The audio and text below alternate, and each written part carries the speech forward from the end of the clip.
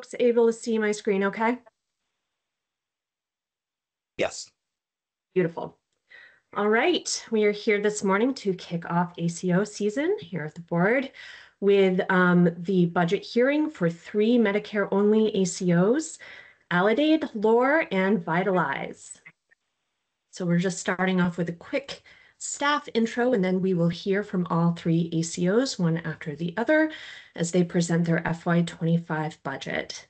We'll have time for staff and board questions, uh, questions from the healthcare advocate, if there are any, and take public comment.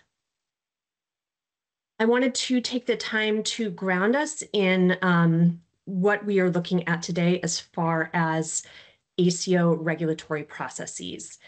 It really depends on what type of ACO we're talking about. So on the left, we have ACOs that accept payments from Medicaid or commercial insurance. And on the right, we have ACOs that accept payments only from Medicare. And th these are the ACOs that we're talking about today.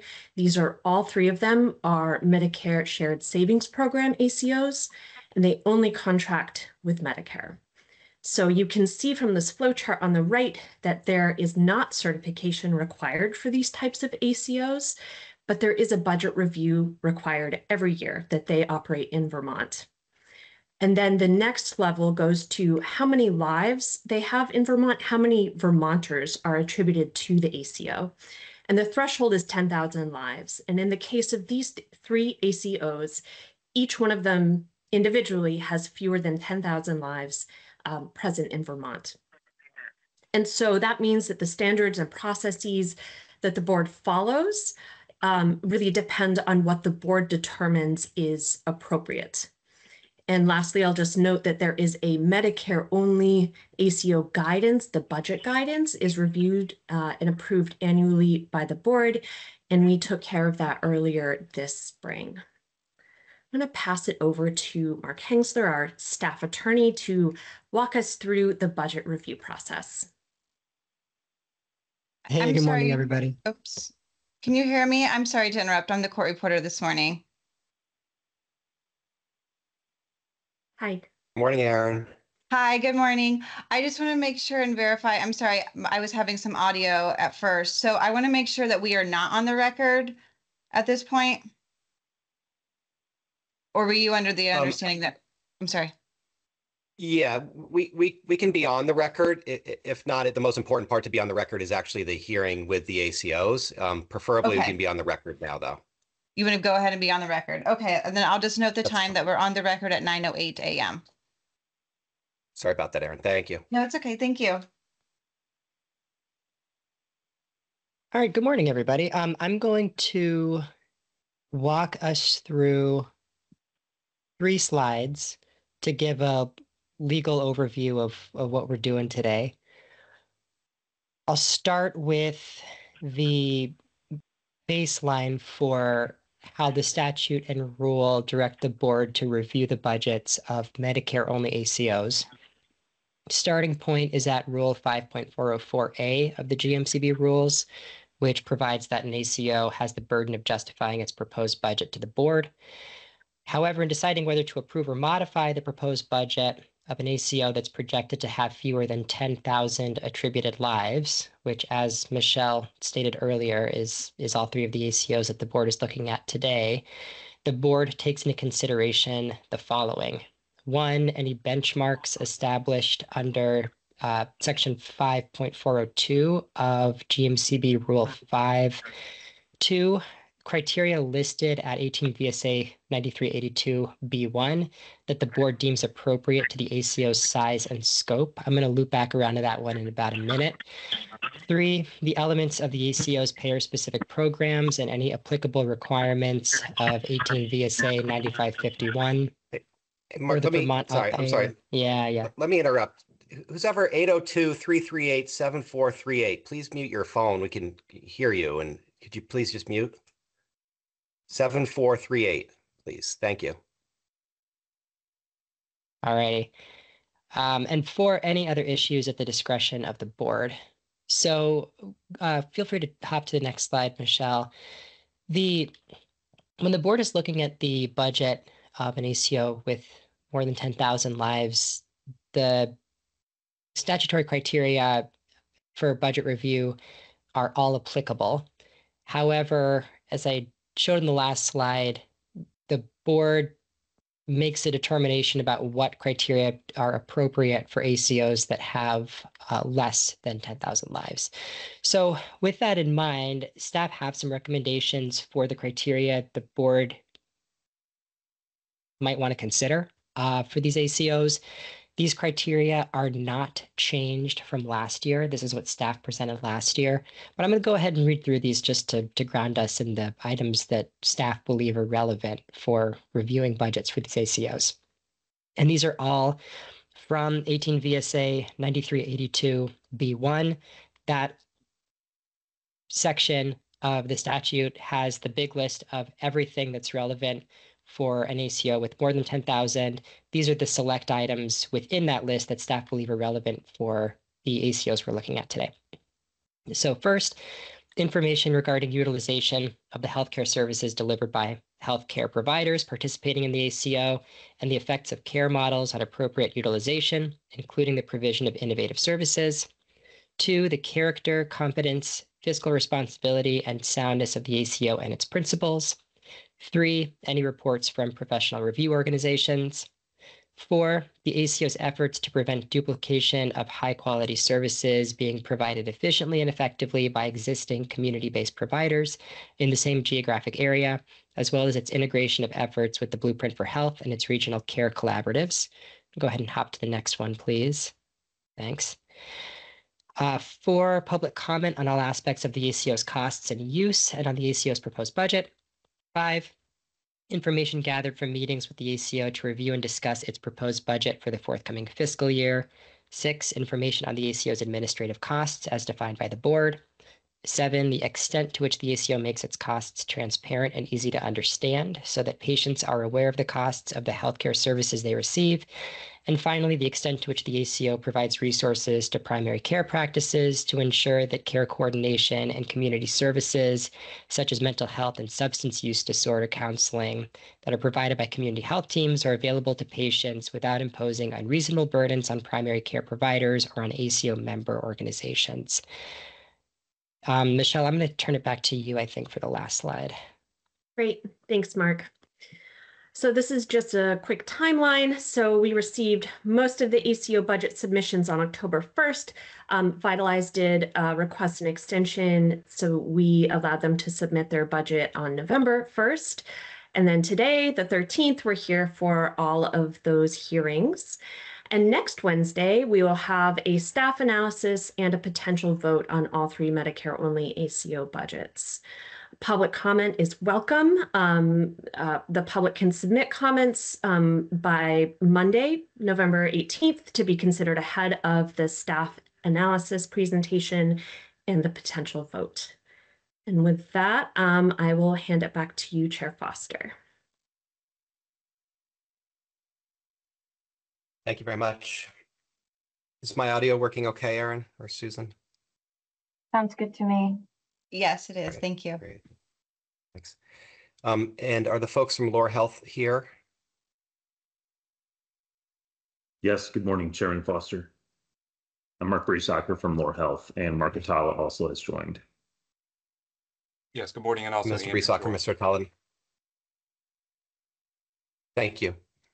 Thank you for being here. Um, I'll have our counsel swear you in, and I assume you're ready and prepared for your presentation? Uh, we are, thank you. Great. All right, uh, Mr. Hanksler, would you mind swearing in the witnesses? And then, um, Mr. Breisaker, you can just take it over from there. Thank you. Yep. Uh, apologies. Just give me one moment to uh, pull up the language, which I should have done ahead of time and uh, didn't do. So just grabbing it right now. All right. Uh, for those who are going to be testifying on behalf of Lore, please go ahead and raise your right hand. Do you solemnly swear that the evidence you shall give relative to the cause now under consideration shall be the whole truth and nothing but the truth, so help you God? I do. I do. All right, thank you. You are sworn in. All right. Well, thank you all very much. Um, I'm, uh, we'll start with an introduction about Lore. uh, discuss a little bit on, uh, uh, 2023 results, and then hand it to, uh, Mr. Atala for a discussion of the 2025 year budget. Um, we are a, as, as, as was shared earlier, a Medicare Shared Savings Program, ACO. We're, we're a multi-partner, multi-state ACO. We have one partner in Vermont and we operate in four other states as well. We are different from many ACOs in that our main focus is partnering with federally qualified health centers. This gives us a, uh, a, a unique population, which of course includes people on Medicare uh, when they become eligible at age 65, but also a, a significant uh, number of people who are dually eligible, and, as well as people on disabilities. And um, uh, we we are we we we uh, work with um, CMS and others, uh, and really the purpose of the whole budget is to to do the things where we can coordinate care, uh, improve that quality of care, and uh, and uh, um, uh, meet the the objectives of the program. Um, in 2023, that was our first year, and from a, I, I'm going to spend a little bit of time just talking about um, our um, quality and program work during that year. Um, it was a baseline year for us, um, um, and we were successful in coordinating, uh, collecting and coordinating the submission of, of quality performance data across the multiple EHRs and multiple partners uh, in the national ACO. Uh, we uh, came up came up with our baselines of performance in diabetes, hypertension, and uh, the process of care, identification and process of care for depression.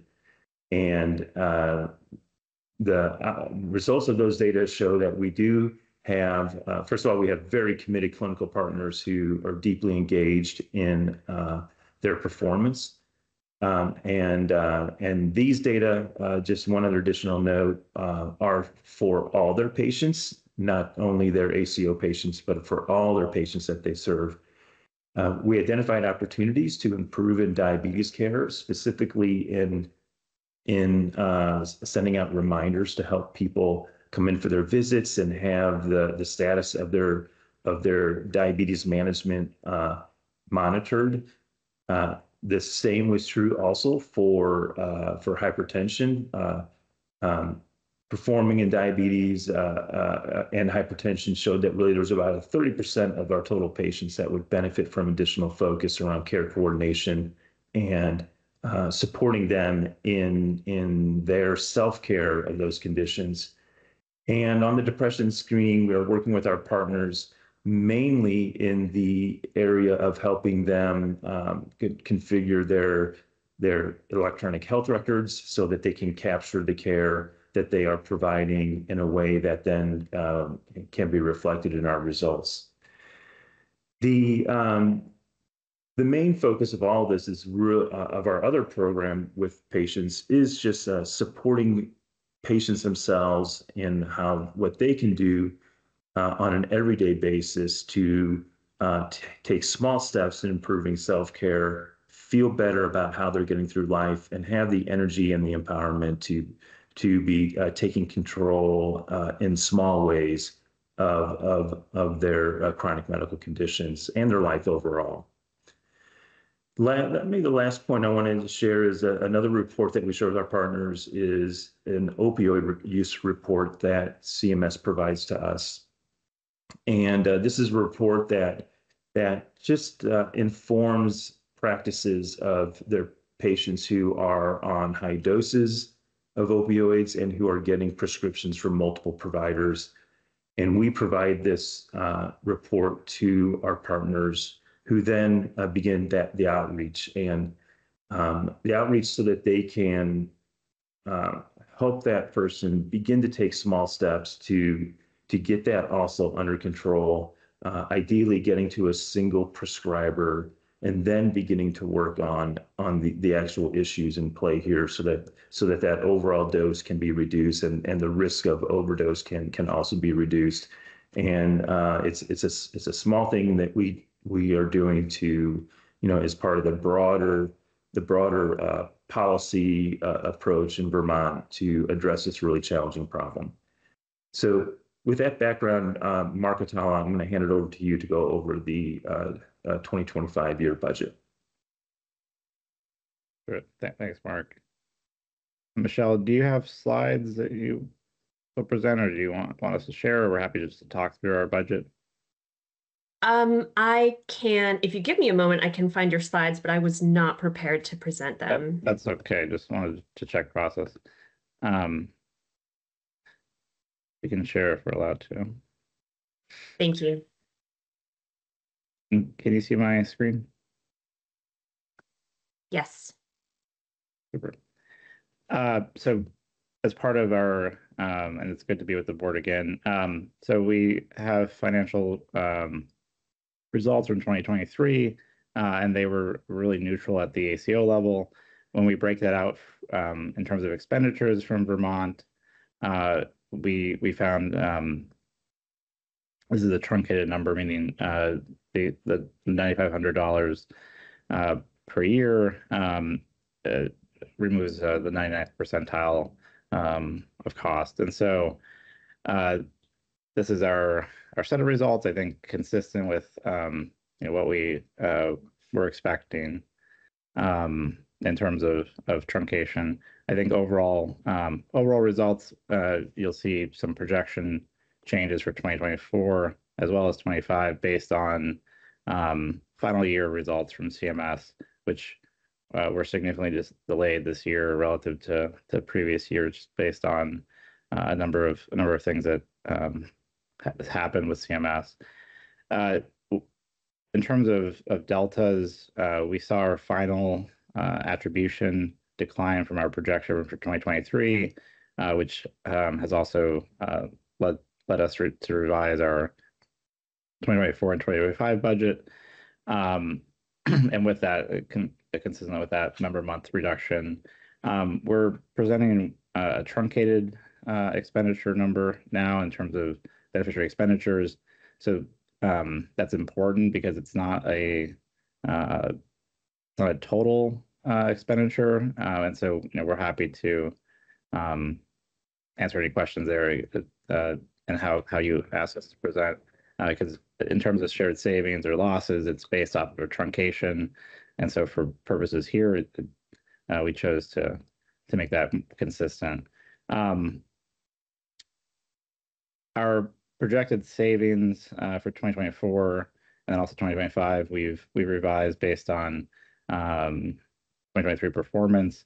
And uh, you'll, you have that, uh, that budget proposal as well. Um, you know, obviously we, we hope to to uh, perform um, better in 2024 and 2025. Um, but I think we're uh, we're realistic in terms of uh, what can be done, uh, and this is really a a, a process that, that we're committed to in terms of improving care and and and building foundations to to deliver savings over the long term. So with that, I'm happy to answer questions from the board and the public.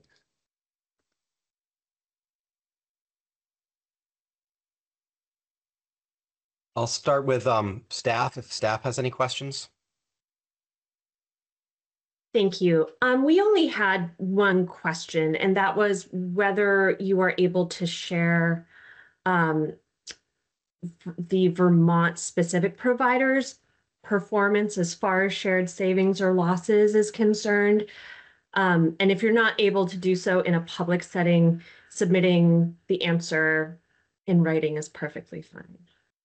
We can certainly submit, I mean, we, I think you, you have our expenditures. I think benchmarking is such a complicated process because it's, you're reviewing, you know, a number of factors around risk ratio, et cetera, that, you know, we wouldn't, um, I think segmenting out Vermont um, separate from CMS, which CMS doesn't provide us Vermont specific data, you know, really wouldn't be precise. And I don't know that it would um, uh, further. Uh, we, we don't we don't see you know substantial differences between Vermont and our overall performance.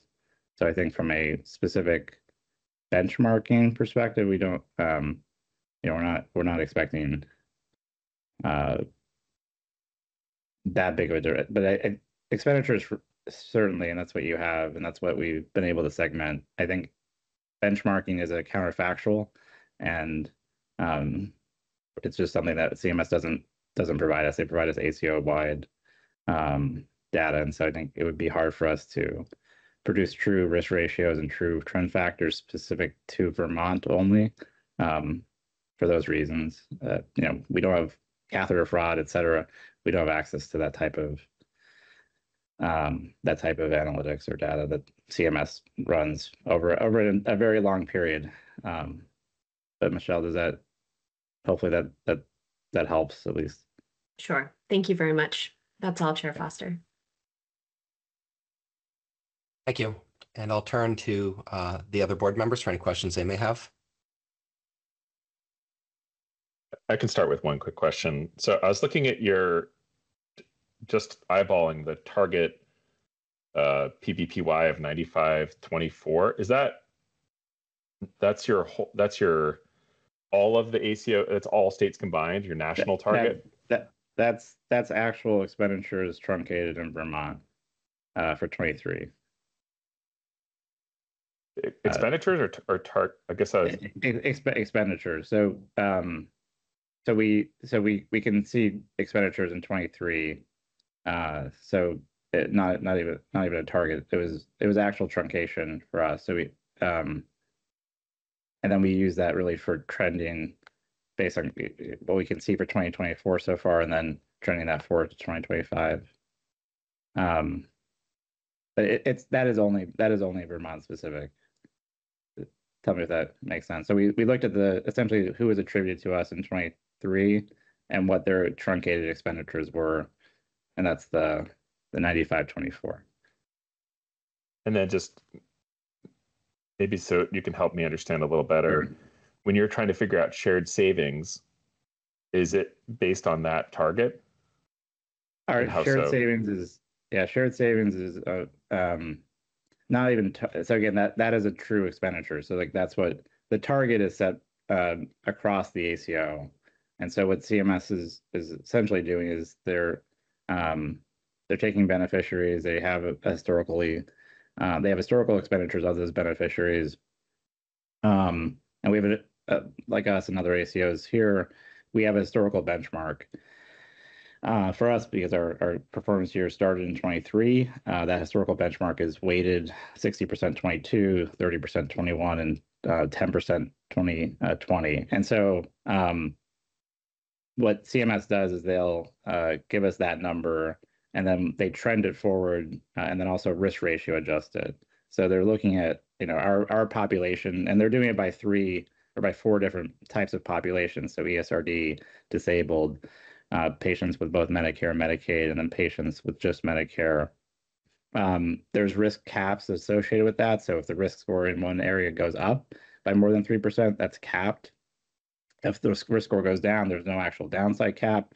And so what's happening is you're um, taking your initial number, uh, your initial benchmark, your which is your which is your target. Um, and again, for us, that- that's an ACO wide target, so it's not Vermont specific.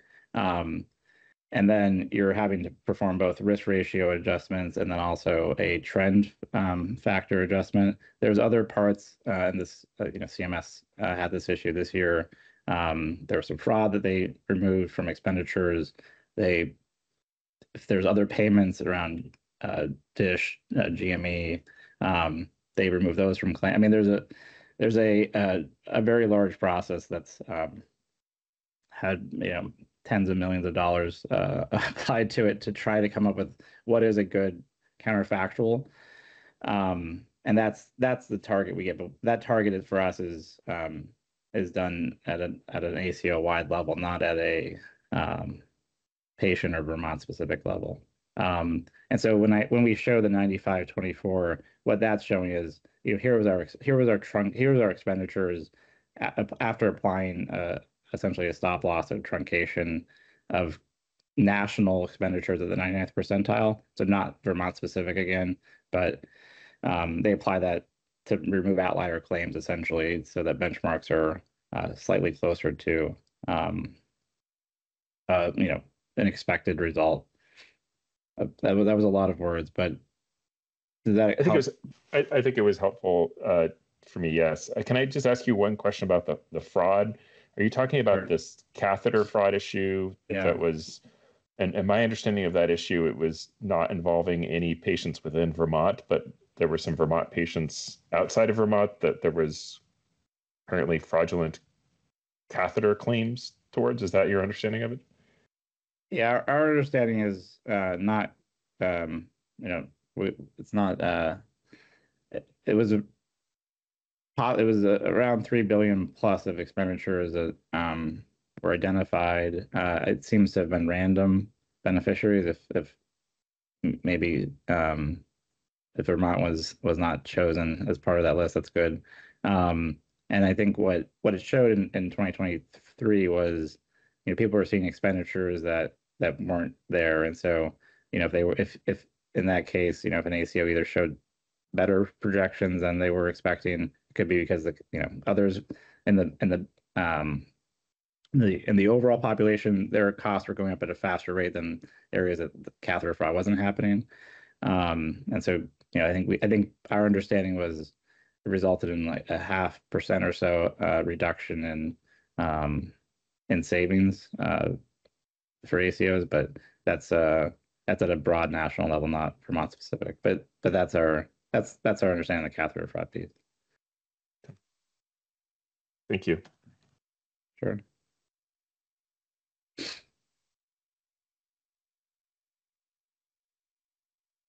Hi, this is Robin. I have a couple of questions. Um, in your submission, and I think we might have talked about this a little bit last year, um, you had mentioned that you provide beneficiaries with in-kind incentives, and I wondered if you could give us some examples of how beneficiaries might uh, benefit from those type of incentives. Like, what kind of incentives are they?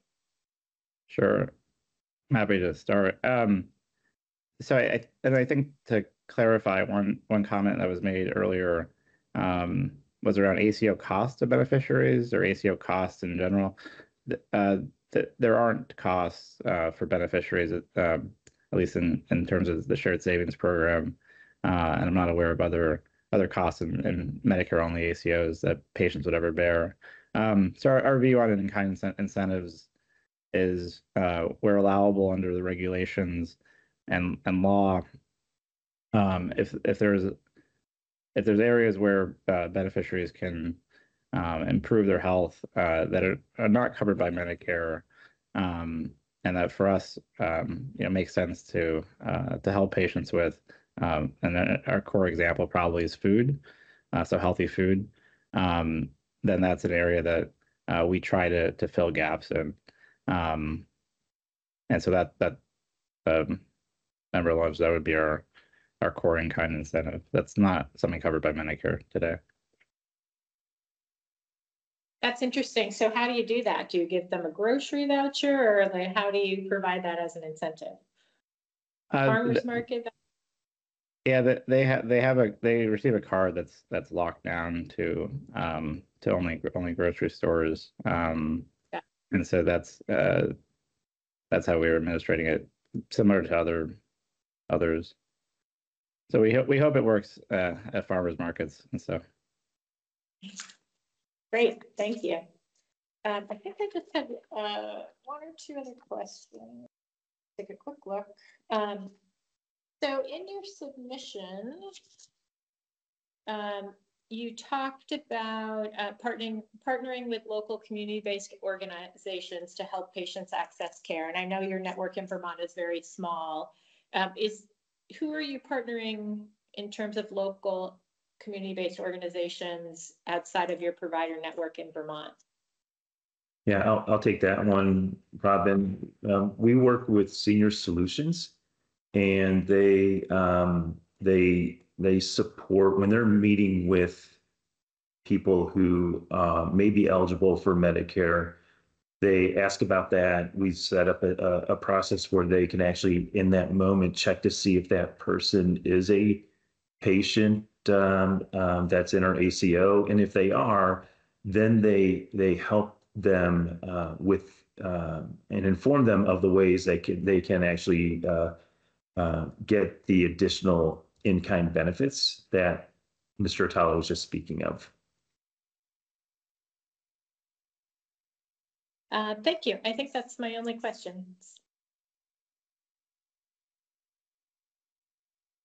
Hey, good, good morning. This is Tom, and um, thanks for being with us again this year. Um, I know from the discussion earlier that it's difficult um, to to segment out um, Vermont, but I'm wondering if um, if you're meeting your savings targets as an overall ACO and in Vermont. Um, I imagine you'd be interested in knowing that because Vermont's already a low Medicare state, so it may be harder to meet the targets. But uh, could you comment on um, how you're doing with the savings targets, please? Sure. Um, so for 23, we were within um, our our meta, uh, essentially minimum savings and minimum loss rate, and so we had a our overall benchmark um, was two, 221 million, uh, 221.7 million. Our expenditures were 222 million, 222.3 million. So um, like a 0.2 percent uh, loss, and so from that end, we view that as neutral because it's a you know statistically um, Yep. not relevant. So I I think from our from our in terms of how we think about savings, what we what we really use is every quarter CMS provides us with um, quarterly benchmark uh, updates. Um, that again, that's at the overall level. So we we tend to look at things just because we are operating in multiple states um, with one entity, which might be different for other partners. Um, we tend to look at things at, at the overall ACO level. Um, and then we then we we do look at expenditures um, you know and how expenditures themselves are trending so how claims are coming in for vermont specific um, beneficiaries.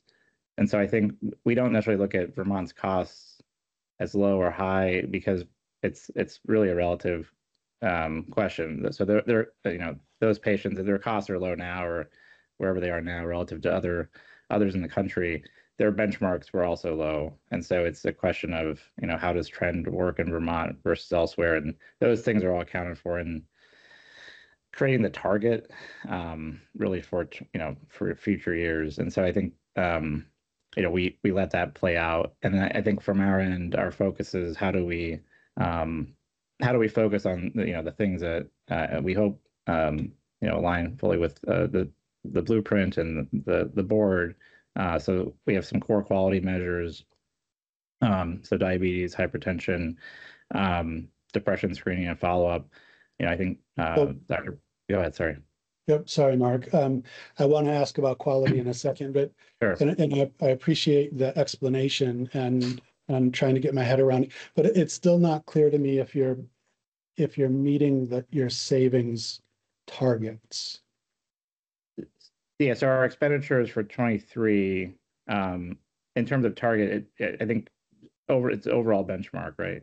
I think is your question. Mhm. Yeah, so, so, right, so we, we did not meet, um, has projected benchmark of, um, two hundred twenty-one point seven million. Our expenditures were two hundred twenty-two point three million, which is again about two, about a 0.2 percent delta. Um, because of that, we, but we are, our risk contract, uh, um, we've chosen a, a half percent up and down um, savings and loss rate, which means that there's no dollars from us to CMS and no dollars from CMS to us uh, in that in that band. And so, um, you know, this is our first year to see how, you know, at, at the aggregate level, um, our target was going to be set. And you know, I think we, um, yeah, 23 was an interesting year for a number of reasons, but um, I think when we expect when we see a neutral result for us, um, you know, for us that means the at least the benchmark is is functioning um, as expected, you know, as we'd hope, and Yep. so um, I think it allows us to to really work from there to say, you know, what are the things that we can do. But I'll I'll hand it back to you for the quality questions or other other follow up.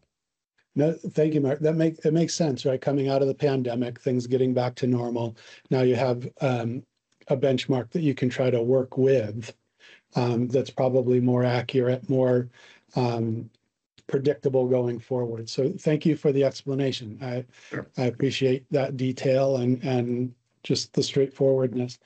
Um, similarly with the quality, are you meeting the, your quality um, targets? So I'll, I'll take that one. Um, thank you, Mr. Walsh. The, uh, 2023 was the year where we actually, uh, were able to get the results to set our, our benchmark in terms of where we are.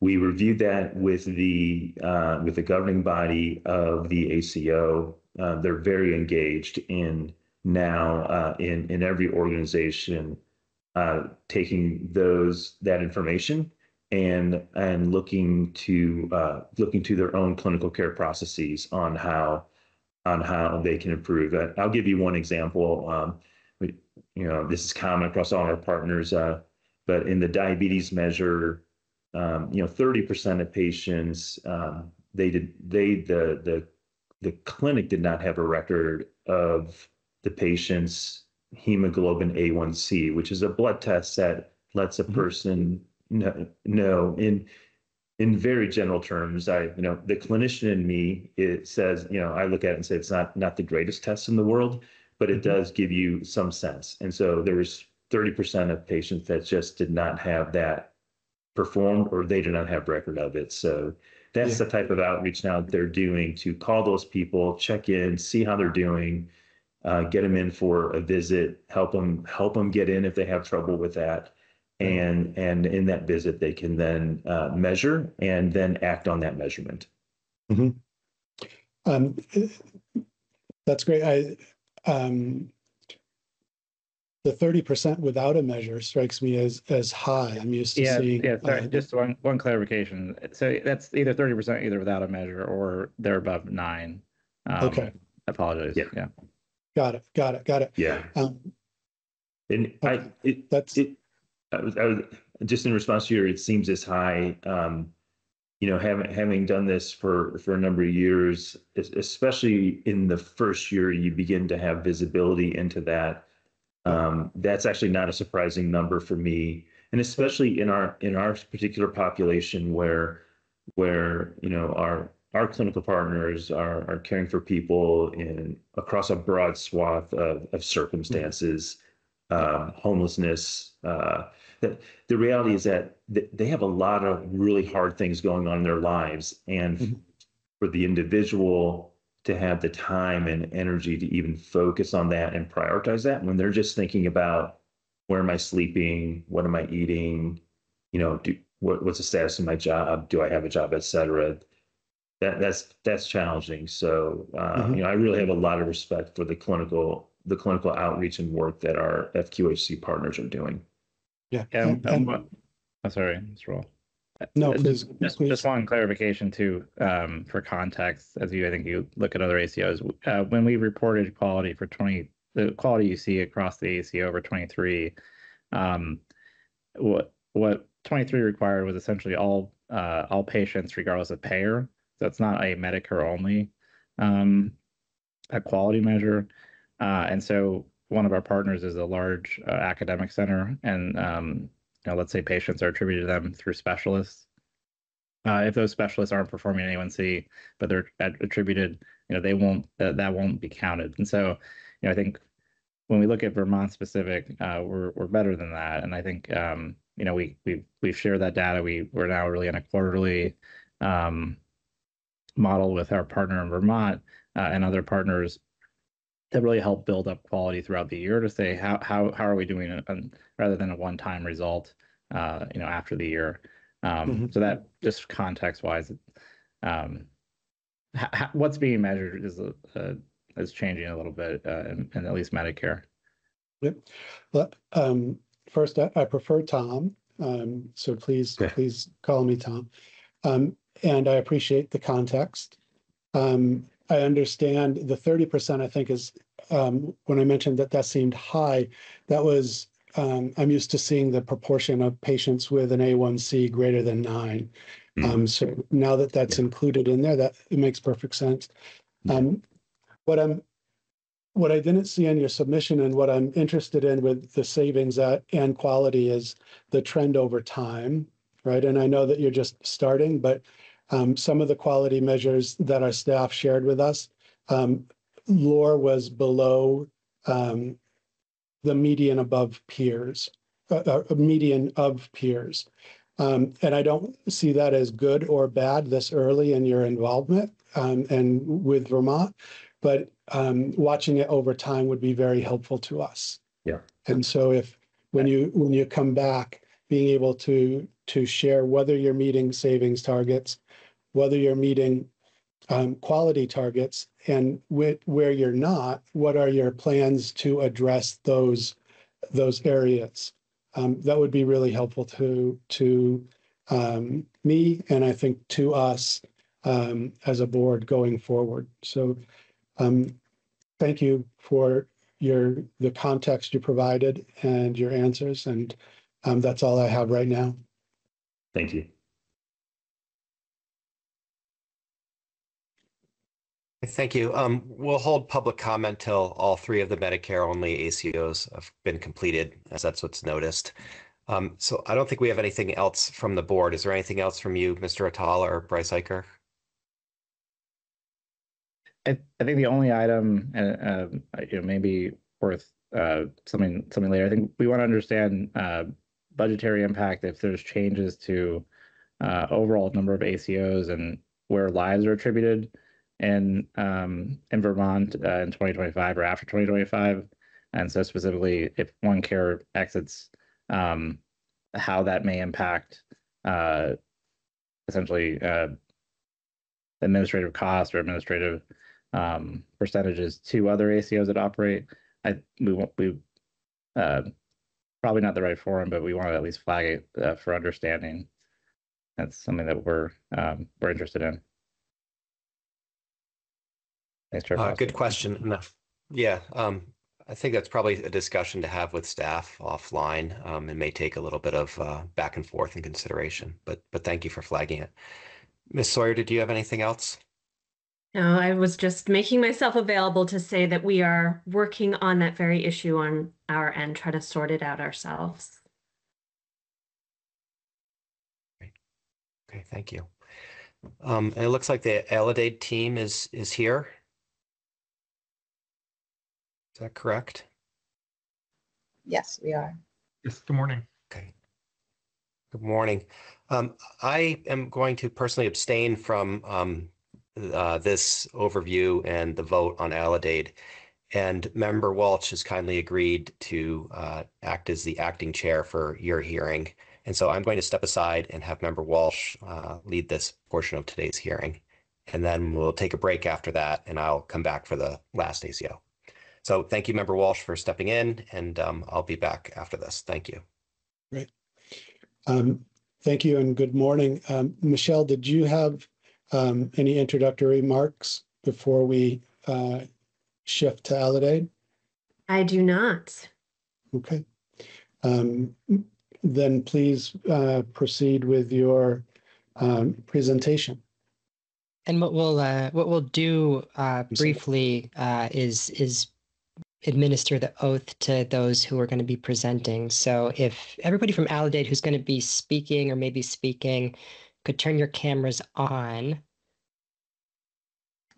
I will and uh, if if you have them, and then uh, unmute yourselves and and raise your right hands. What I'm going to do is I'm going to administer the uh, the oath for witnesses, and what I'll do is I'll read it. Uh, you can say I do, uh, and then we'll we'll proceed from there. Uh, okay. Do you solemnly swear that the evidence you shall give relative to the cause now under consideration shall be the whole truth and nothing but the truth, so help you God? I do. I do. Yes. All right, you are sworn in, and I'll turn it over to Aledade for presentation.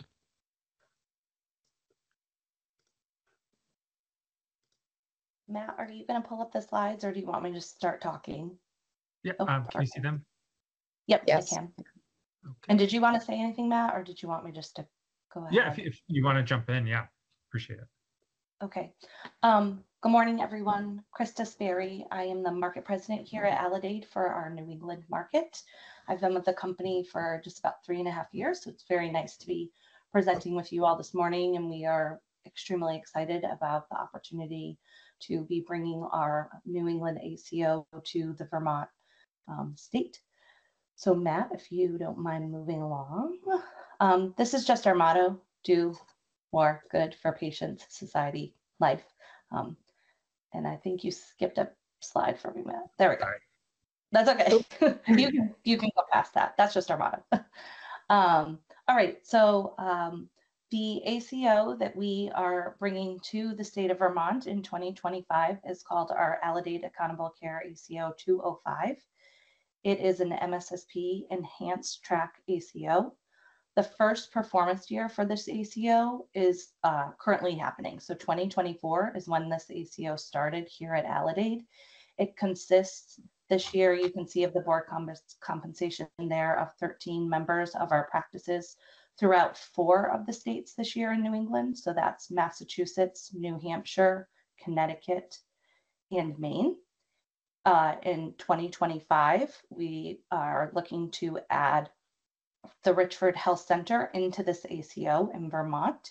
And so we would have five of the six states in New England. There are no participants today, nor do we anticipate any uh, in 2025 in Rhode Island.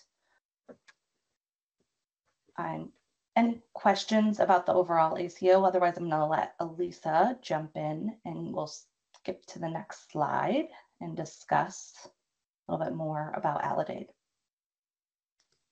Good morning, everybody. I'm Melissa Collinson.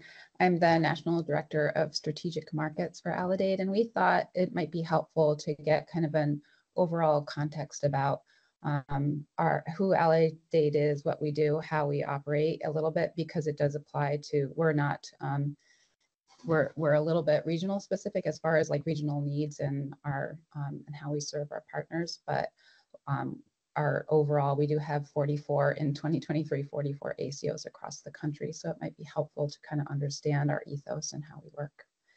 Um, this slide here is just to help you understand. Um, we have a designation as a public benefit company, which is something that is um, legally embedded into our legal structure, which basically says that what Aledade does with our resources at the end of the day, how we invest them, um, has to be aligned with our mission, which, as Krista said, is to um, you know serve our practices, serving their patients, um, and then um, do, doing better for all of them, and that will be better for society overall. And we do that through the vehicle of preventative primary care in the MSSP program.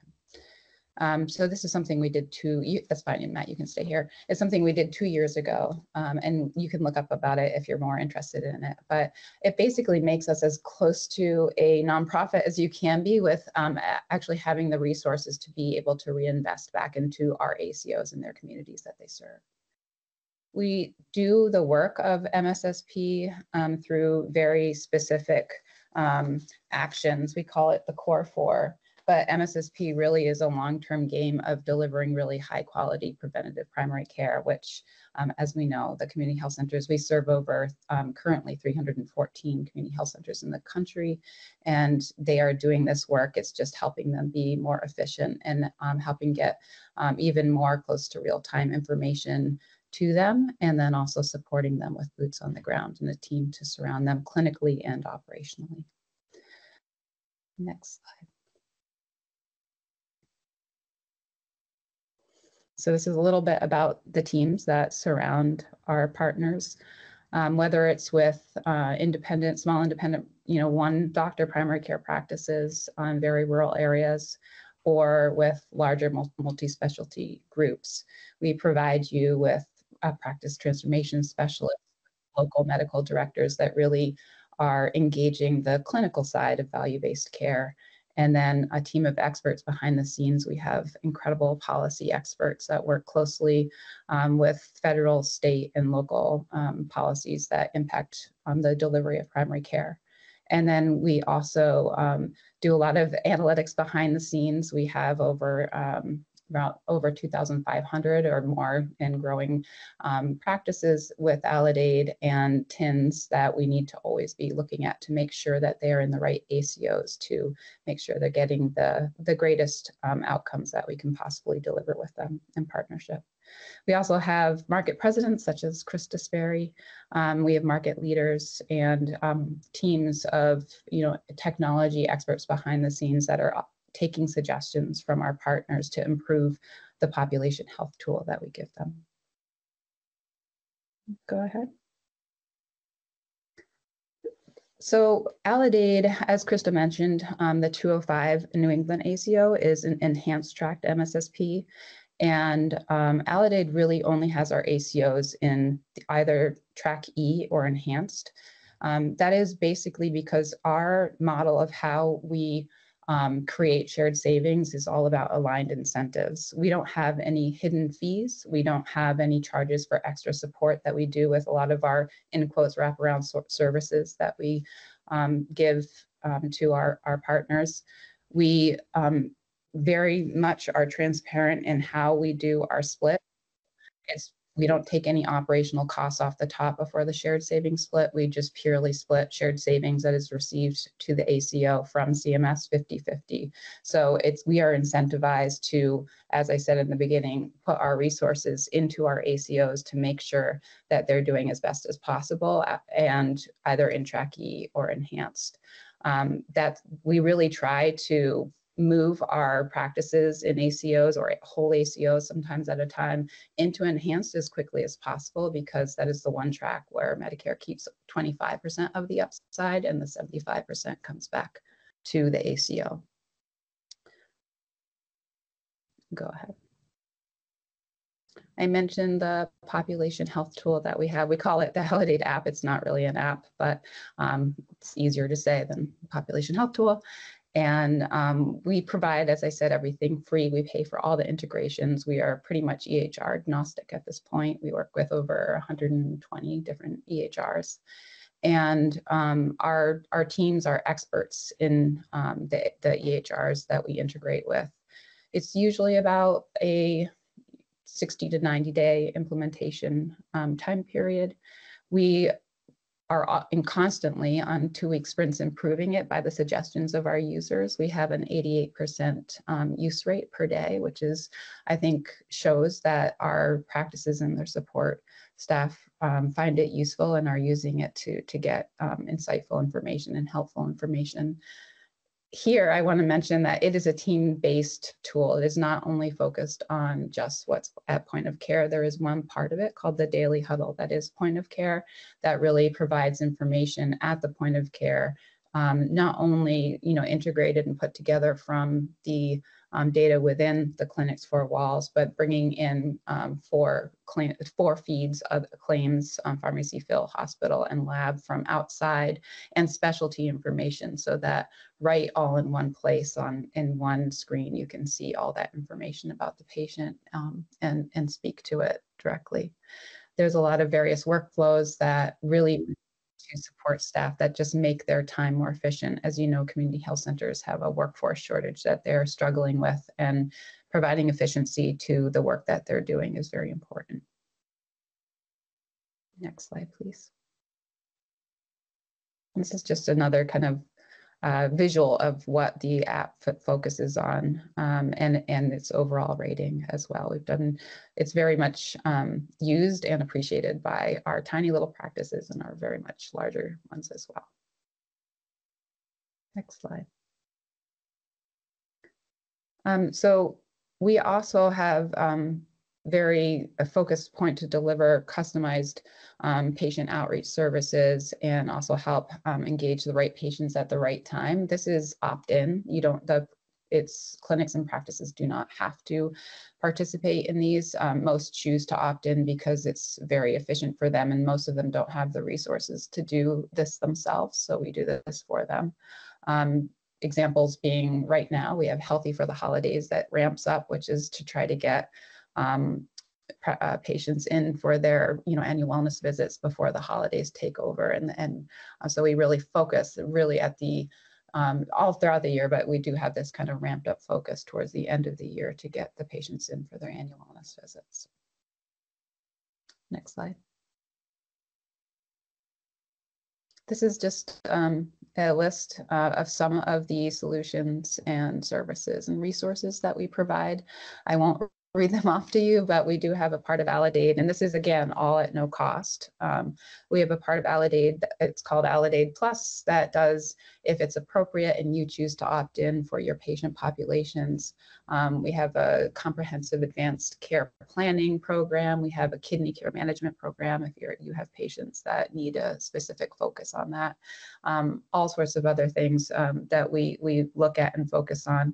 We're very data driven, so that clinical trials piece um, is, is interesting. I, I am very interested in data driven decisions and we look at that a lot. We do not ask our partner practices to do any extra focus on work. When I talked about the core four, we have looked at our data over 10 years in the MSSP program and seen the very specific things that drive shared savings and good patient outcomes. Um, so we focus on the things that we know are providing value to the patients and then providing value back to our ACO partners as well. Next slide, please. So we joined early um, and you we, uh, we heard you asking overall um, results as far as our ACOs versus other MSSP ACOs and are we hitting target? Um, so Aledade, as I mentioned, has 44 ACOs. And this is just to say, this is 2022 data. We're updating the slide with 23 data right now. Um, but currently, um, or in 2022, Aledade's, all of our Aledade cohort ACOs, so taking that uh, uh, in the MSSP program, we perform at, and this is measured by shared savings rate, um, an average uh, across our track E and enhanced ACOs of 10.4% is our average um, shared savings rate. And then um, other ACOs in the MSSP program, so all non-Aledade ACOs, their average is a 2.7% shared savings rate. Our quality scores overall also are um, higher than the average um, score. Again, this is 2022 to be transparent in 2023, which the data that we just got, we were just slightly higher than the uh, other average. Um, and I think the average overall decreased in the MSSP program with quality. And I believe it's because of what Mark mentioned is the kind of across all payers reporting, which is a little bit more complex and difficult um, to do across ACOs, um, which we do the quality reporting for our ACO partners. Next slide. And I will um, let my colleague Kevin take over from here. Uh, good morning. I'm Kevin Devlin. I'm the Senior Director of Finance here at Aledade. so uh, currently what you're looking at is our, our projection for 2025 savings based on the accountable care, Aledade accountable care uh, ACO 205. Uh, our, as uh, Chris had mentioned earlier, this is majority of the practices that are in this ACO are beginning their second year. Uh, so we do have good data on potential uh, targets for the benchmark. Um, since we will be entering PY2 of this ACO, that target benchmark is uh, $13,605. We anticipate about a 4% savings versus that benchmark for the entire ACO next year for savings just over $2 million. Um, that savings is essentially based off of the estimated tailwind that we are projecting for when the Vermont comes into this ACO, uh, utilizing their historical um, expenditures uh, and aggregating and, estimating based off of the current ACO's performance. Uh, generally, year one and two ACOs see improvement around two and a half percent from the targeted tailwind. Uh, for so that's how we are calculating to that, but just under four percent uh, for this ACO for 2025, which would be just slightly up from what the ACO is experiencing this year in 2024, based off that that estimation by about 50 basis points.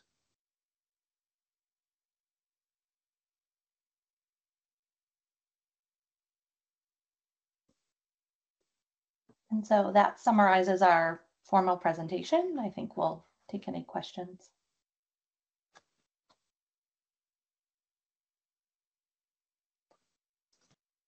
Thank you very much. Uh, Open it up for board questions.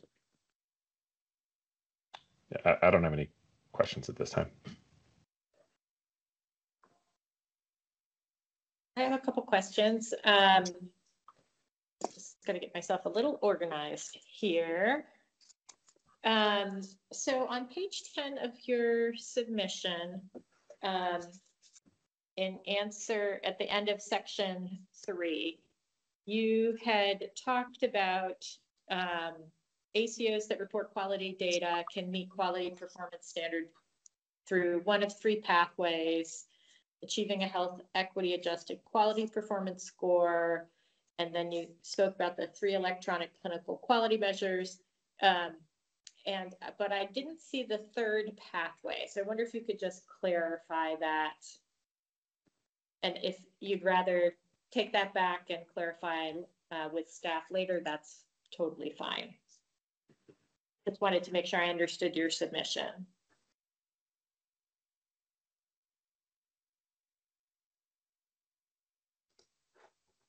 I think um, so we owe um, the the staff a few follow up questions next week, and um, we can we can take this one back. Thank you. Appreciate it. Okay. Um, and you did answer one of my questions. I was curious to learn more about the opt-in to the additional services that you mentioned. Um, why would you say that a practice would or wouldn't want to opt into the additional services that you offer? Yeah, I can speak to that and Krista jump in too if you feel like it. Um, so sometimes there's like, for instance, comprehensive advanced care planning is a sensitive topic and we work with um, very small physician practices that have very close relationships to their patients. And they may feel that they don't want Aledade's team who they focus purely on the comprehensive advanced care planning and having um, a social worker, a lawyer, um, all of the family members present is about a two-week process. Um, but there's some practices that feel like I would rather keep that conversation with myself and my patient and not have Aledade's team do that. So um, same for, you know, comprehensive advanced, um, not, sorry, kidney, um, the CKD stuff that we do there's just some doctors that feel like I have a better relationship and close with my patient. And even though we work on soft handoffs and all of that, we want to leave that choice to the practice. We don't want to dictate how they do their um, patient work. Yeah, and I would just add overall, and Elisa's absolutely right. Um, we're not a one size fits all. We kind of meet our practices where they are. And overall, some practices are staffed much differently than other practices. So we have some practices that utilize all our services um, just because of staffing issues, or some practices go through periods of time where they might lose um, uh, uh, an excessive amount of staff and can't keep up with some of the back office um, kind of activities that that help them be successful in value-based care. So we're here to support them in those times when they need extra help. Thank you. That's really helpful. Um, I'm wondering if you are familiar with Vermont's Blueprint for Health program, which is our statewide uh, advanced practice medical home and community health team structure. Um, and uh, because one of the questions that I have about your model, particularly with the wraparound services, is whether they are duplicative of or supplemental to the blueprint and how to ensure that your work supporting the practice and what's already happening in the community with the state community health team, make sure that that's all working together and not at cross purposes. So uh, if you are familiar with the blueprint and have any thoughts on how your model meshes or doesn't mesh with it, that would be helpful. And if not, um, then I guess I would simply ask if you'd be willing to take the blueprint for health orientation so that we can ensure that your care model doesn't uh, conflict with the state's care model, which is a requirement in our regulatory process. So I'm, I'm familiar with it just from, you know, uh, learning Vermont and learning it. I will say, uh, our, I think all of us would like to do that. Our, our clinical medical director in New England um, lives in New Hampshire um, and has worked um, there for many, many years, and I'm sure she's been more familiar with it. But for for myself, I'm definitely willing, and I'm sure our teams would be willing. I will say one of the first things that we do in when a practice signs with us is get to know the practice for those very reasons because we don't want to be duplicative of things that are working. Um, we want to um, help them find the areas where there's opportunity to improve and and provide support in those areas. It doesn't make sense to kind of reinvent the wheel. Great, that's great to hear. Uh, I think I a couple more questions. Um, so when you, so in your submission, you talk about high value referral management. Could you explain what you mean by high value referral management? It's on page 15, if that's helpful. Krista, I'll let you take that one. I don't know if I'm the right person to take it. I might ask Matt if that's one of the follow-up questions that we're supposed to be. And it's totally fine. Again, anything, happy to have you follow up if that's easier. I'm, pu- I'm trying to pull up the page quickly so I can just read it. So Yeah, one moment. I'm trying to locate the. We had a Um, it's on page 15 under the paragraph that is the first paragraph of care management. We use data to help patients get the best care that complements the care they receive from their PCP. This includes high value referral management as well as comprehensive advanced care planning. I I think I what- understand what referral might be, but I'm not sure what would make a particular referral more or less high value. So that's what I was interested in learning is how you uh, how you understand that. I think these are overall um, Aledade general statements. I think for New England, Krista, as as an ACO matures, um, they they might move into more of that, but I don't know if Krista's ACO is doing that currently. yeah, we don't do referral management today in the New England ACO. I think to Elisa's point, we have piloted in other parts of the country. Um, and maybe that's where it was high value. I, I don't know exactly how the, um, that was termed or why they termed it that way, but, um, I'm thinking it's maybe, uh, directed towards something like that, but we can definitely follow up on that as well and, and just confirm. We did have an area of the app. We actually um, took it down recently, but it was about like basically the clinicians could go in and type up a specialty and find um, across various different sources um, how specialists were performing in their area and where they're located and um, not just performing as far as like uh, outcomes, which are of course are important, but also looking at like total cost of care and those sorts of things. And we don't do not have that currently live in the app anymore. Okay, thank you. Um, I just had one more question. So um, in terms of your focus on health equity, um, I'm certainly the focus on racial equity as part of health equity is very important. It's an area uh, in Vermont where obviously as a mostly white state, we have certainly um, things to improve. But in Vermont, we've also been looking at health equity a little more broadly, trying to look at rurality or uh, like the social needs index, socioeconomic issues, those sorts of things. So I was just curious to hear about your definition of health equity and whether you tail tailor that to different locations or uh, sort of how you think about that. Yes, um, we have to. We have a health equity team and we do have to tailor it come to very specific areas. For instance, um, our Mississippi ACO, you know, very um, populations that have huge access issues and are in food deserts, et cetera, all the things that can impact um, rural areas. And it's our one of our highest performing ACOs. Um, so we are very proud of the work that we do with the social needs um, of the populations. We really tailor it to the specific areas. Like for instance, if it's a access issue, um, we in some areas where Uber is available, so not rural, but we partnered with Uber to get patients to the physicians. In some areas, it's um, you know helping them with creating clinical food pantries so that patients can access, um, you know, specific nutrition for their specific chronic diseases. Thank you very much. That's all my questions. Um, nice to meet you all. Nice to meet you.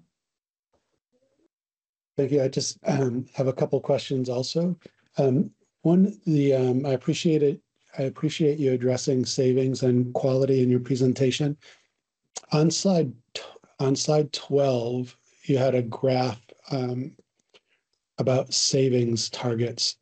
Um, and if I'm wondering if you could pull that back up. One moment. Yeah, sure. Take your time. Um, and this is mostly just to help educate me personally. Could you help me understand the um, how I should interpret the 10.4 Yeah, versus so 2.7?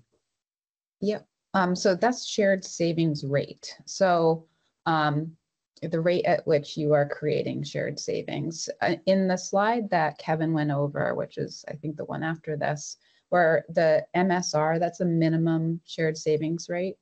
So for this ACO 205, it's an enhanced ACO. And in the enhanced track with MSSP, you are allowed to um, choose your minimum shared savings rate.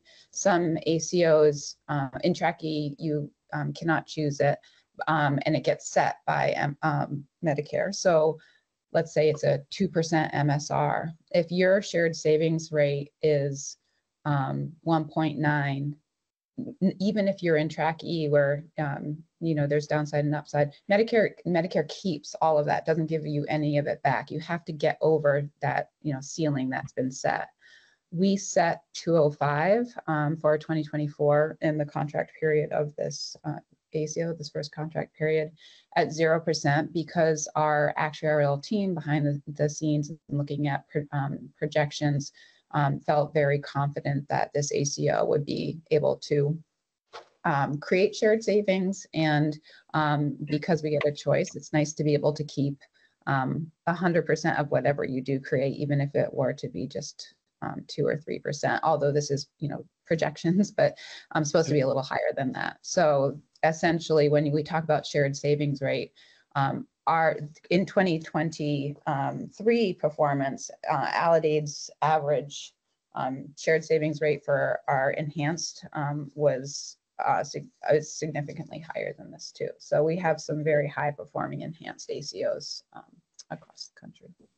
I And appreciate I just want to add one thing to that. So just on that graph, so you can see the years. This is a this is a cohort view of that graph. Mhm. So those are our ACOs that have been with us for a year. So when you see the Y6 year six, so our ACOs that have been in with us for six years are averaging 10% savings.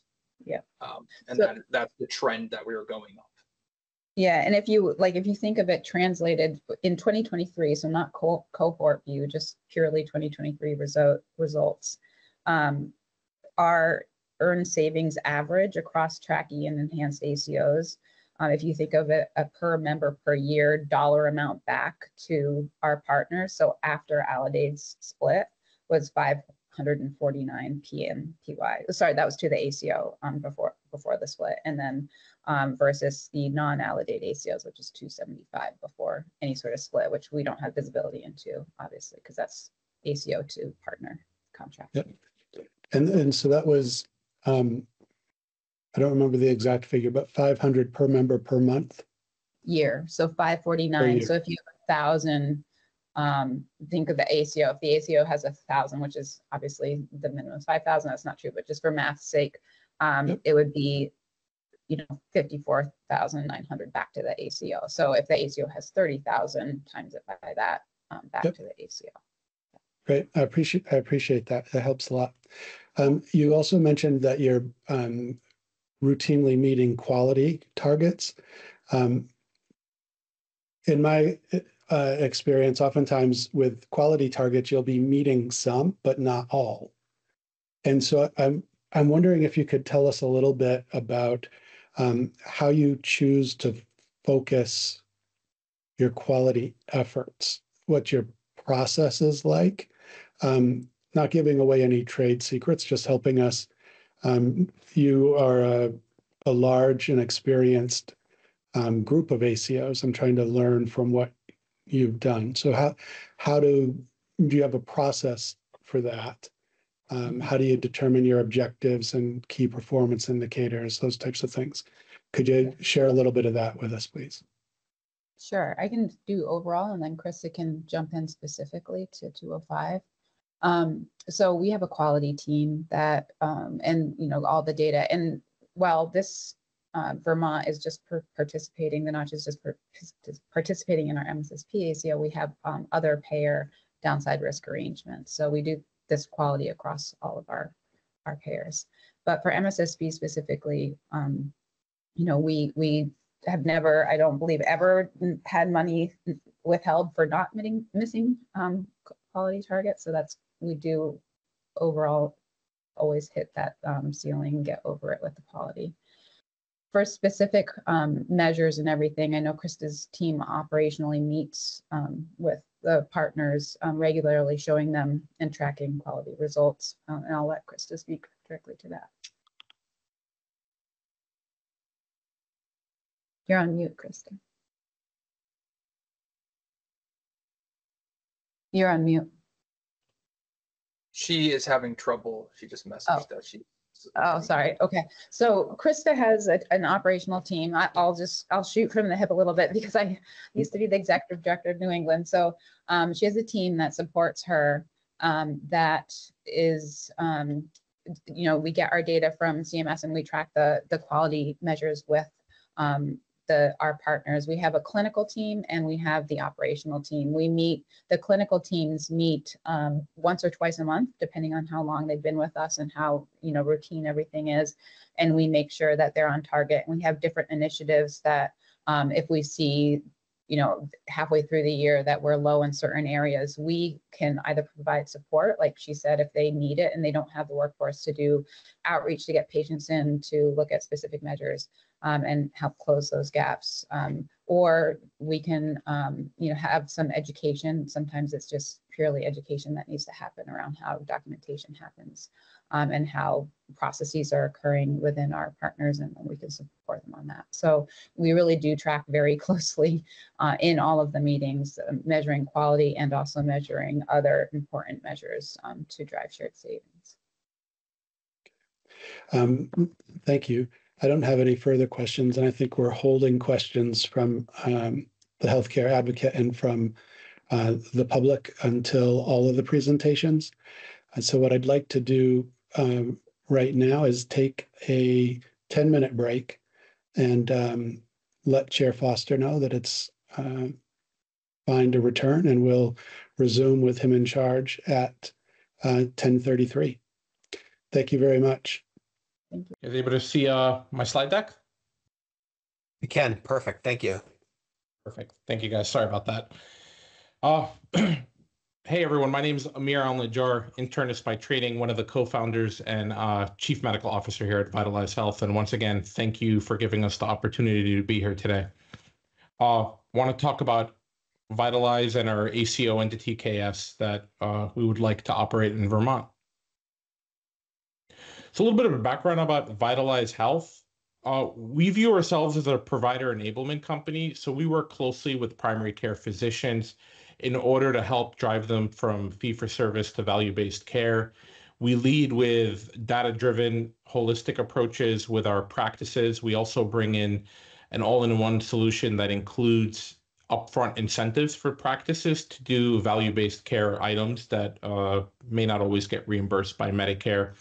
So we try to bring additional funding to practices uh, and resources, clinical resources as well, to help improve uh, the care delivery model, you know, uh, across their Medicare beneficiaries and their practices. Uh, you know, a, a, lot of the incentives that we pay for, they're bread and butter value-based care items like transition to care, annual wellness visits, uh, making sure quality metrics are met. Uh, we also have a clinical evidence guideline base uh, where we call it vital insights where if we see patients having gaps in you know certain medications for their conditions that have been proven by evidence to be beneficial we'll flag these items for the pcps to take under consideration Next slide.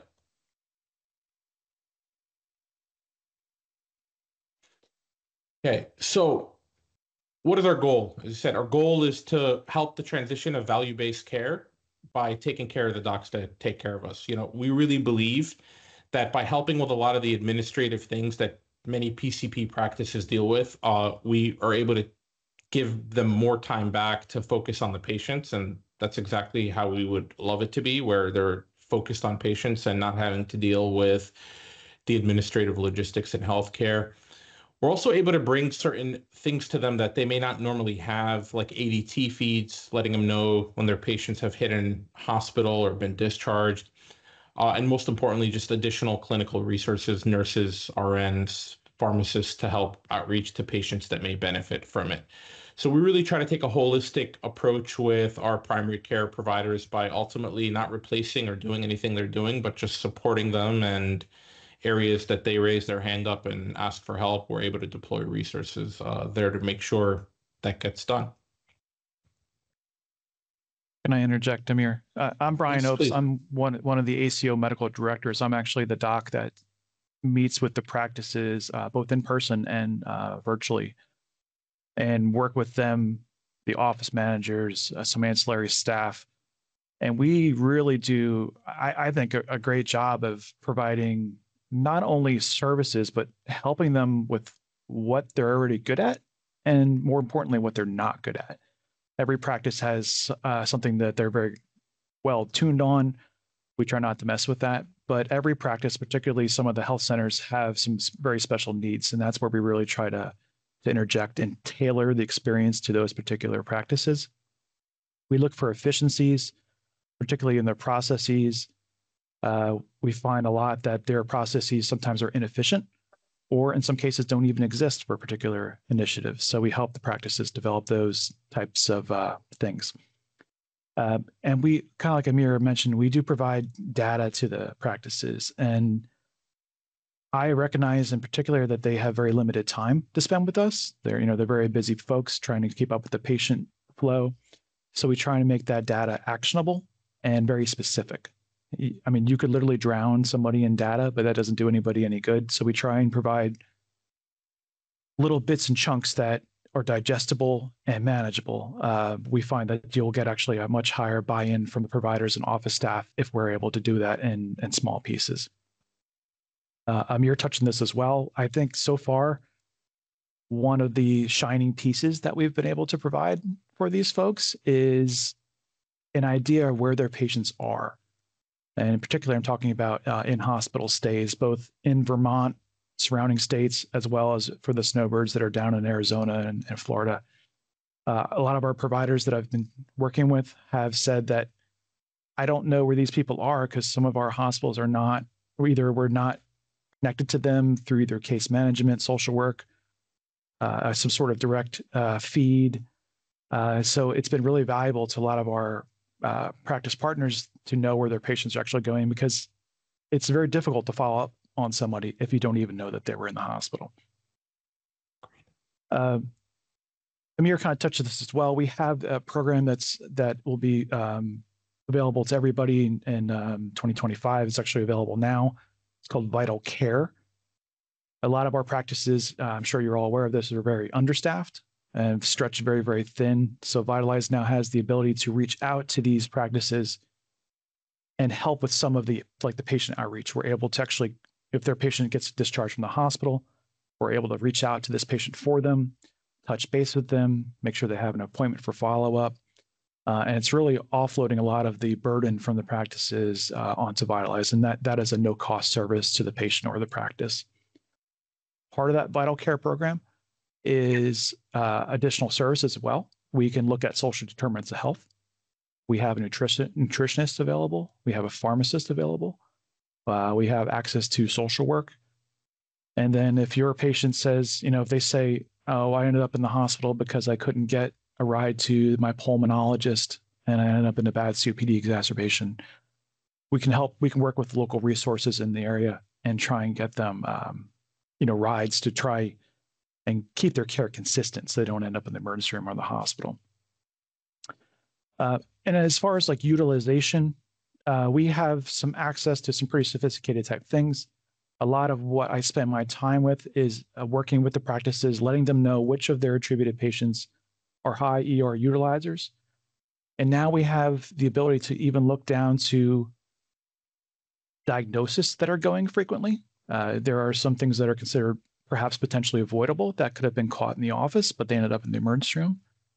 We have analytic abilities to tell them what day of the week is now their highest uh, ER utilization day. I've recently worked with a practice that I was able to show them uh, they had a chest pain issue, and we were able to get down to the point of who those patients were, what days of the week they were going, and allow them to kind of look at their own internal system to say, okay, great, I perhaps I need extended hours on such and such day to help address this because I have a huge ER problem on Mondays. Uh, and it also allows them to know kind of what where they should develop their resources. If they if ER diversion is a key piece, they can dev- devote like available mental and uh, financial and capital resources to try and reach these patients sooner to try and prevent them from going, because not everybody in Vermont is going to have an urgent care next to them, or um, you know something. You may have only one hospital choice. And then we also look at uh, performance. Every practice has, you know, multiple providers.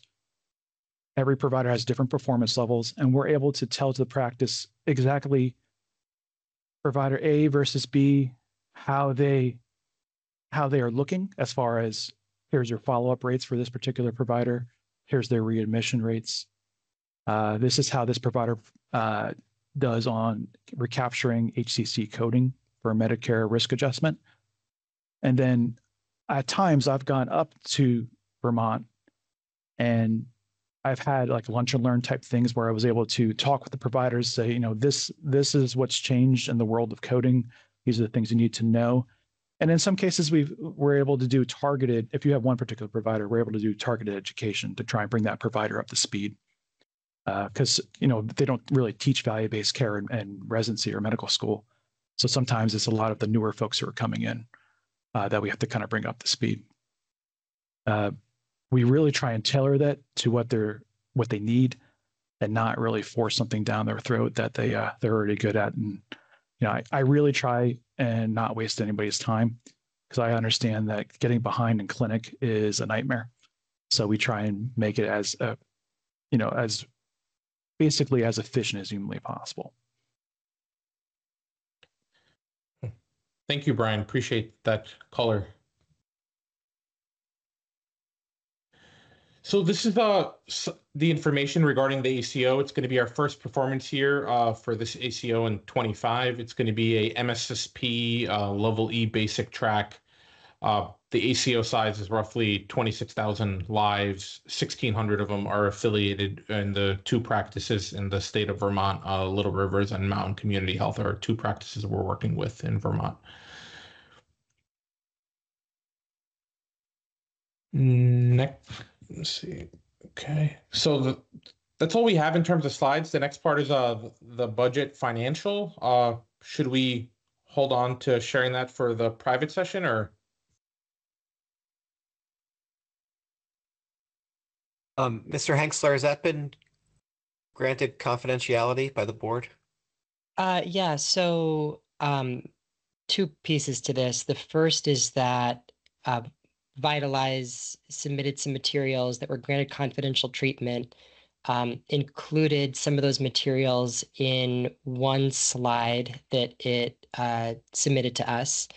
If the, the, the slide, correct me if I'm wrong, Vytalize, but I believe that slide contains nothing new um, or different from the budget submission. Uh, it just contains information that was treated confidential in the budget submission if the board wishes to discuss those uh, those few materials with Vytalize, we can go into executive session. Um, if the board would prefer to ask questions that it has and wait on whether or not we want to, you know, we, we, we can do that too. So it, it's um it's it's nothing that you don't already have in front of you is that is the thing that I wanted to share. Great, thank you. So we'll proceed with um, staff and board questions, and if there's a need to go into an executive session, um, we'll take that up if it comes up. Um, so first, I'll turn to Ms. Sawyer for any staff questions there may be. Sure, just one question from us. Um, so we had required folks um, as part of Vytalized Health 9 ACO, their FY24 budget order, there was a condition that um, some staff attend Vermont Blueprint for Health orientation. And I believe that was done, um, which is great because the Blueprint for Health is a really important program um, throughout the state. And um, we did ask a question in the budget uh, guidance of this Vytalize ACO about how collaboration would work. Um, and it was my uh, perception that perhaps the folks who had answered that question uh, in the budget guidance weren't the same folks that attended the orientation. So I was wondering if um, you all from Vytalize would think that perhaps it would be beneficial for someone from this current Vytalize um, ACO to attend the Blueprint for Health orientation. Um, and I just wanted to verify that it wouldn't be duplicative of um, whoever attended for Vytalize this current year. I attended last year. Um, and Great. this is, the, yeah, thank you. And this is still the, uh, um, my medical unit for 2025 for uh, Great. consistency's sake. So it would still be me. Okay, thank you very much. That was my only question. Sure. I'll open it to the board for questions.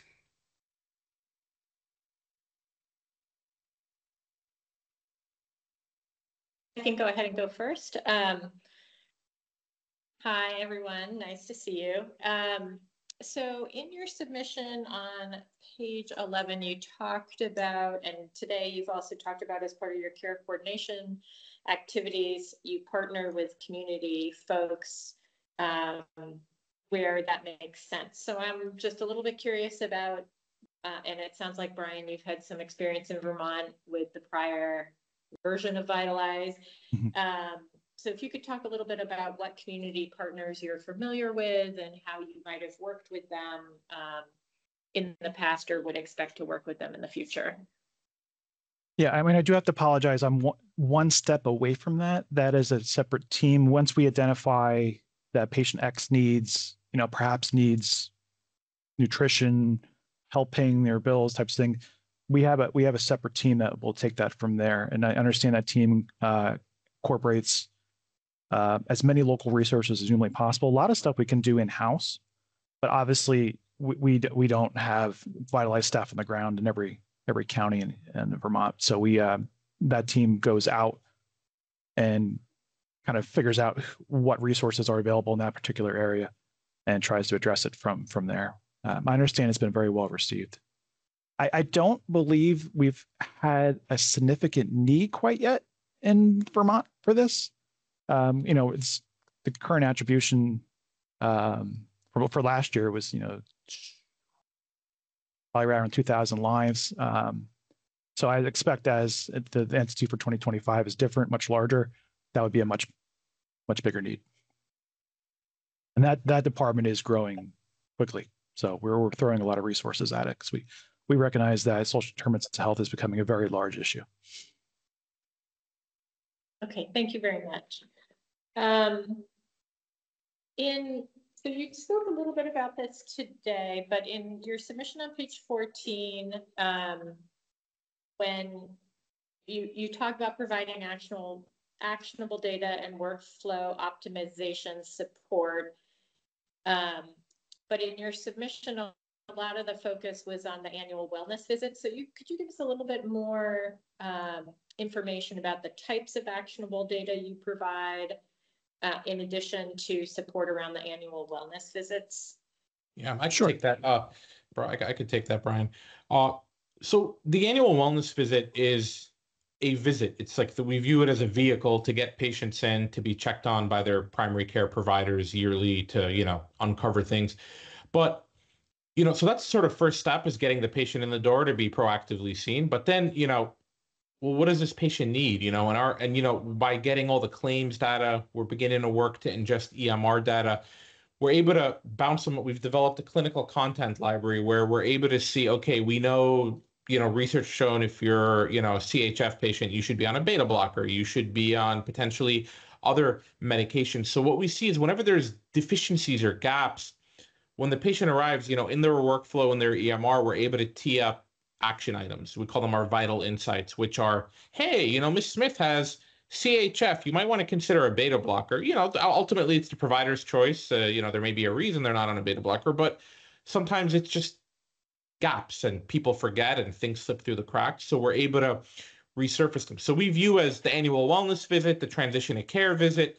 We view these as the first step, which is the vehicle to get the patient in, but ultimately, you know, things need to also improve during that visit as well. And, to add on what Amir said, for Little Rivers in particular, I, I recall they did not really know how to bill properly for an AWV for because a federally qualified health center is a little different than the uh, the non-health center crowd. So we worked with them to be able to do that efficiently, uh, and they had some difficulty. I, they didn't really have like an AWV template so we worked with them to get the health risk assessment together, those kinds of things. Uh, got them all the pieces that they they need, so that they're they were trying to build that into their EMR to make it efficient. Uh, and that's that's pretty common amongst the health center crowd. Great, thank you. So it sounds like the Vital Insights tool provides almost like a check list for the provider to say, oh yeah, did that, did that. Oh yeah, I forgot about that. Maybe I should talk to the patient, that kind of thing. That sounds. yeah, and it's, that and it, about right. yeah, Am I getting exactly. Yeah, and that's based off the latest clinical research. So the the uh, society accepted guidelines, which some of the providers, you know, if they've been around for a while, you know, may not have kept up with uh, most current uh, evidence-based medicine. So it kind of helps in that regard too. Perfect.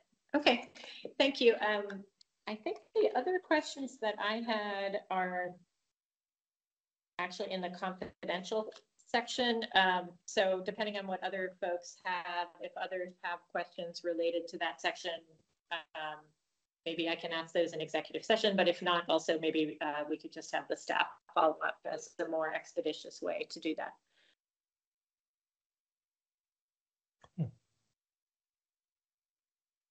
Sorry, I had a little challenge coming off of mute earlier, but I just have two quick questions. Um, which one of them kind of follows up on one of Robin's questions. But Brian, you mentioned uh, digestible chunks of information to providers and gave uh, an example of um, patients being admitted to the hospital or recently discharged.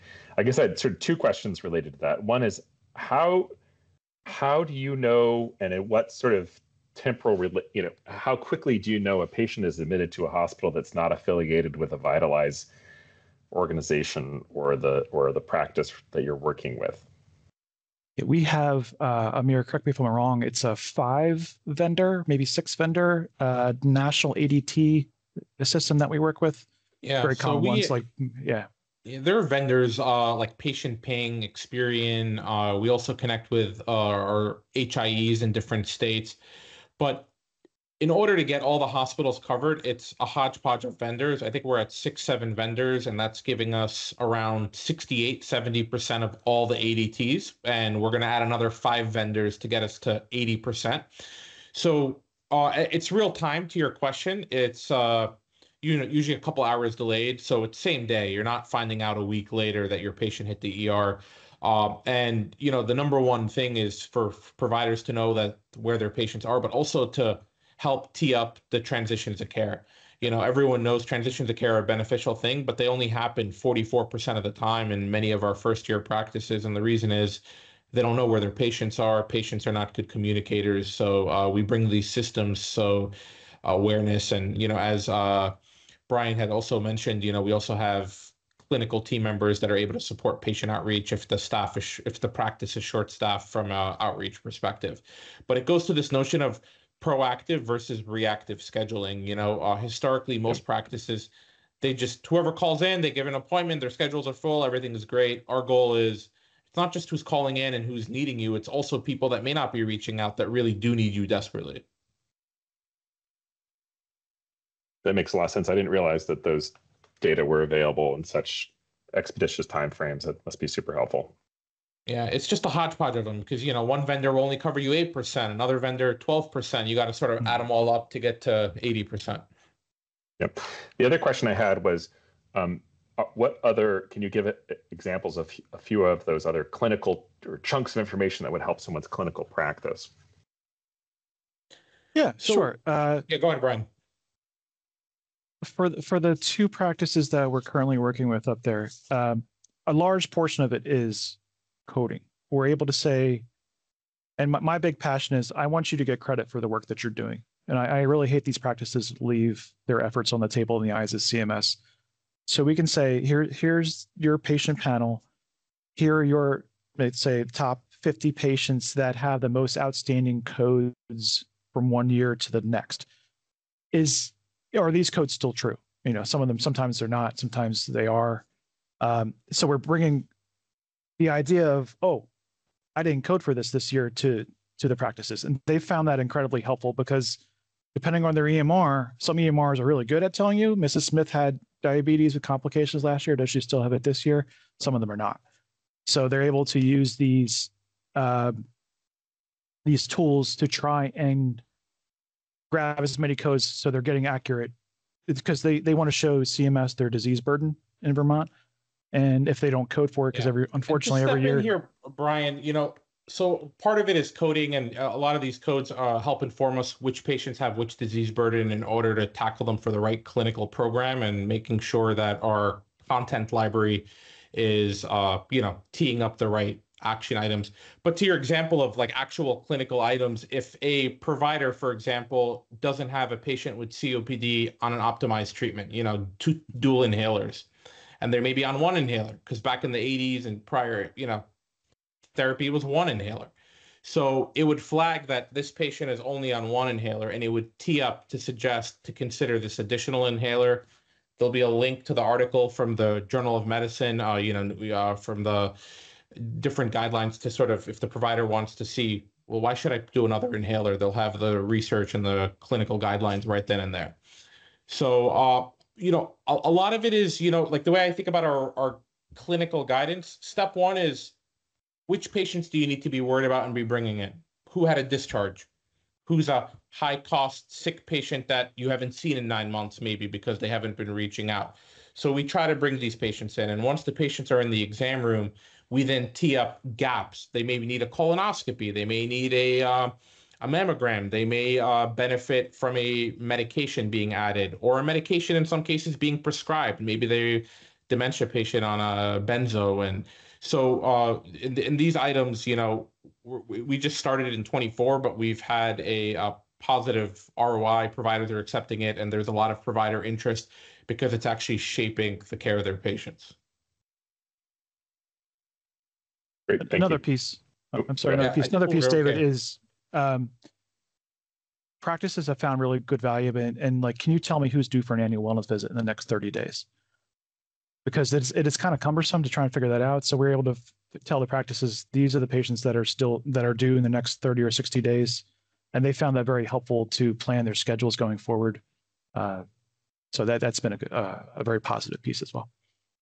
Can I channel my board member Tom Walsh here and say, can you tell can you tell a provider how many patients with a hemoglobin of A1C greater than nine have not been seen in the last three months or six months or a period of time? Who should be seen? we're we're working on that. We're working on that. So we we're getting beginning to get the data from LabCorp and Quest and the big lab vendors, and that's exact. You know, because that's uh, you know, hemoglobin A1C results are not on a claim typically, or uh, and so it's either from EMR data or from the lab data, and where you know uh, that's been the focus in 24 and early 25 is getting that actual non-claims data, and that would enable us, and that's exactly uh, the ACO quality metric of is your hemoglobin A1C above or below nine. Great. Thank you so much.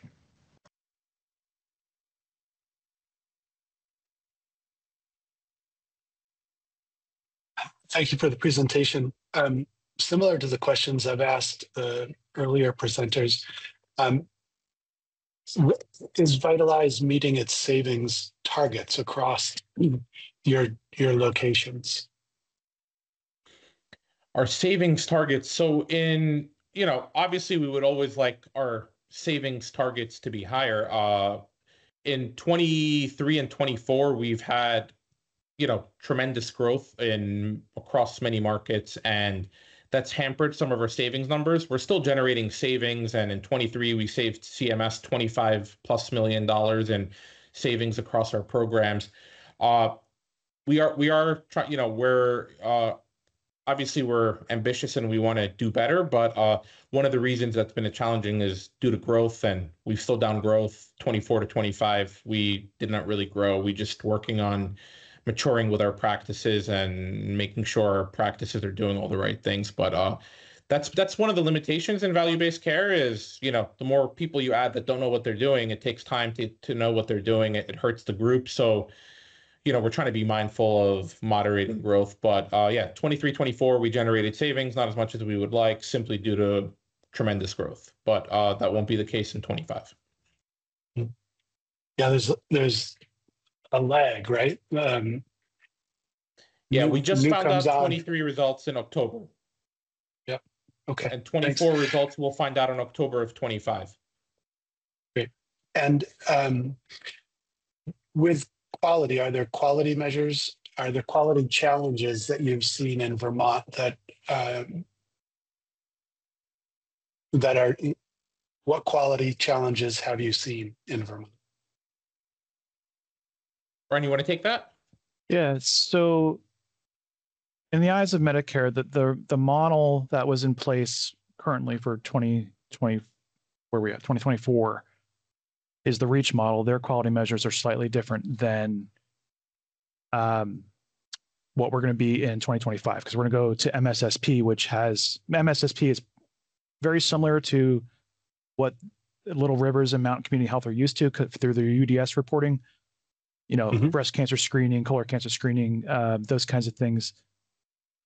The um, the the quality issues we've seen in 24 are more around like utilization, uh, hospital visits, those kinds of things. The biggest issue I've probably seen is ER follow up for certain disease states. Um, I think likely due to capacity issues. Uh, Um, CMS great, that- is grading us on a quality from a mixture of claims and actual reporting. So they're looking at how often are our docs following up post hospitalization, how often are our patients being readmitted to the hospital, uh, how often are our patients being admitted, and then there's also you know the hemoglobin A1Cs, the mammograms, colonoscopies. So they're, they're it's like multifaceted what they look at. Mhm. Mhm. Yeah. Um, all right, that's helpful. Thank you.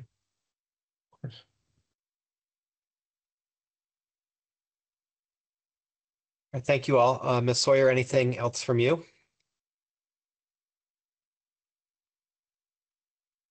No, nothing from me, Chair Foster. Thank you. Great. Um, Well, thank you all for attending. Um, We appreciate the presentation today, and I believe next week we'll have a staff overview and potential votes. So thank you for coming. I'm going to take public comment um, on all of the ACOs we reviewed this morning. You're welcome to stay, and you're welcome to leave if you prefer. Uh, Actually, I'm sorry, I I missed the healthcare advocate today. No problem. Nothing from us, Chair Foster, at least at this point. Thank you. Thank you. Sorry about that, Sam. Um, and with that, I'll open it up to public comment via the raise the hand function.